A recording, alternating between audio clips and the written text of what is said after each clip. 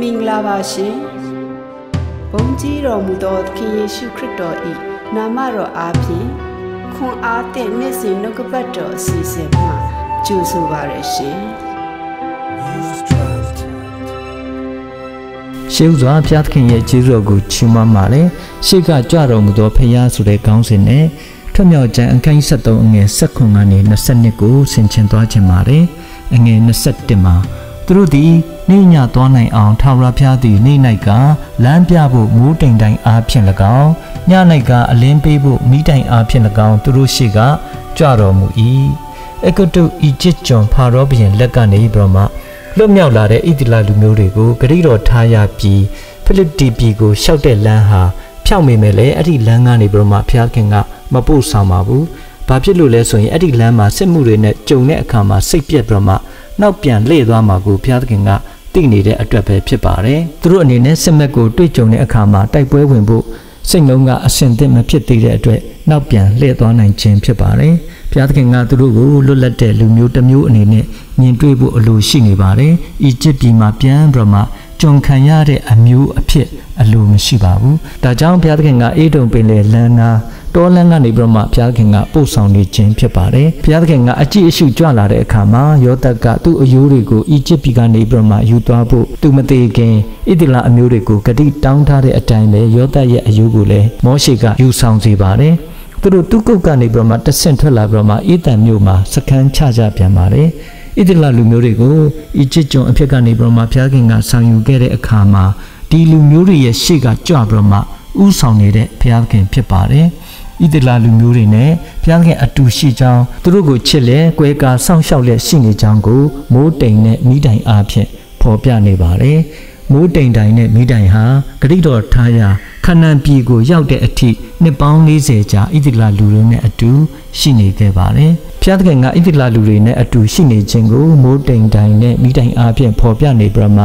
သူတို့ကိုလမ်းညွှန်ပေးနေတာဖြစ်တယ်။ထောက်ပံ့ပေးတယ်။ သူတို့ဟာဘုရားခင်ကိုဓာတ်ရိုက်မမြင်ရပေမဲ့လည်းမိုးတိမ်တိုင်နဲ့မိတိုင်နဲ့ဖုံးလွှမ်းနေတဲ့ဘုရားခင်ရဲ့ဘုံတော်ရဲ့တရံကိုတွေ့မြင်ခဲ့ကြရပါတယ်။ရေစကြည်လအခင်းတဲ့အငယ်28မှာဖော်ပြထားခဲ့တဲ့အတိုင်းပဲမိုးရွာတဲ့နေ့မှာမိုးတိမ်အပေါ်မှာပေါ်တဲ့တက်တက်အယောင်လိုရှိနေတဲ့ထာဝရဘုရားရဲ့ဘုံတော်တရံအစင်းအယောင်ပဲဖြစ်ပါတယ်။ကျွန်တော်တို့ယုံကြည်သူဖျားသားသမီးတွေကိုလည်းဣတိလလူမျိုးတွေလို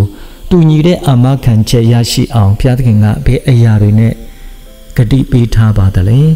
တမန်ကျမ်းစာလို့ဆိုတဲ့ဘုရားခင်ရဲ့နှုတ်ကပတ်တော်ကိုပေးထားပါတယ်။ဒါဟာဣတိလလူမျိုးတွေမှာတောင်းမရှိတဲ့အရာဖြစ်ပါတယ်။နောက်တမန်ကျမ်းစာကဖော်ပြနေတဲ့အရာများကိုနားလည်သိရှိနိုင်ဖို့ရန်အတွက်လည်းကျွန်တော်တို့ကိုတုံသင်ပေးမဲ့တန်ရှင်းသောဝိညာဉ်တော်ကိုပေးထားပါတယ်။ယောဟန်အခန်းကြီး14အငယ်26မှာဆိုရင်ခမဲတော်ဒီငါအတွက်ကြောင့် စေလွတ်တော်မူသောဥပစ္စေဆရာကြီးဟုသောတန်ရှင်းသောဝိညာဉ်တော်သည်သင်တို့အားခတ်သိမ်းသောအရာတို့ကိုပြတသွန်သင်တော်မူ၍ငါပြောခဲ့သမျှသောစကားတို့ကိုမှတ်မိသောဉာဏ်ကိုသင်တို့အားပြီးတော်မူ၏လို့ဆိုထားပါတယ်။ယောဟန်အခန်း16အငယ်73မှာလည်းပဲတမန်ကျမ်းစာနှင့်ပြည့်စုံသောထိုဝိညာဉ်တော်သည်ရောက်လာသောအခါတမန်တရားကိုသင်တို့အားအကျွမ်းမဲ့သွန်သင်ပြသလိမ့်မည်။ထိုဝိညာဉ်တော်သည်ကိုယ်အလိုအလျောက်ဟောပြောမည်မဟုတ် ကြားသမျှတို့ကိုဟောပြောလိမ့်မယ်။နောင်လာလက်တန့်သောအရာတို့ကိုလည်းသင်တို့အားဖော်ပြလိမ့်မယ်လို့ဆိုထားပါတယ်။ဆိုတော့ကျွန်တော်တို့ဟာလည်းပဲဆက်အာနာရှင်စနစ်ဆိုချုပ်ငိမ့်ကန်ဒီမှာအခက်အခဲတွေပိုးပြီးတော့မှတစ်နေ့ထက်တစ်နေ့တွေ့ကြုံနေရတဲ့အချိန်တာယာငိမ့်ချမ်းခြင်းနဲ့ပြည့်တဲ့ခရစ်တော်အားဖြင့်ကောင်းချီးပေးနေပဲနိုင်ငံတော်ကိုဥတည်နေတယ်ဆိုတာကိုနားလည်ခံစားနိုင်ကြမှာဖြစ်ပါတယ်။ယုံကြည်သူတွေအနေနဲ့လည်းအဲ့ဒီအချိန်ကိုမရောက်ခင်ဆက်ကြားမှာ ဣတိကလလူမျိုးတွေဘုရားသခင်ဂတိတော်နယ်မြေကိုသွားနေရတဲ့အချိန်မှာလမ်းပြမှုကိုလိုအပ်နေတယ်လို့မျိုးဖြစ်ပါတယ်ဖြစ်နေပါတယ်ဒီအချိန်မှာဣတိကလလူမျိုးတွေကိုရှေ့က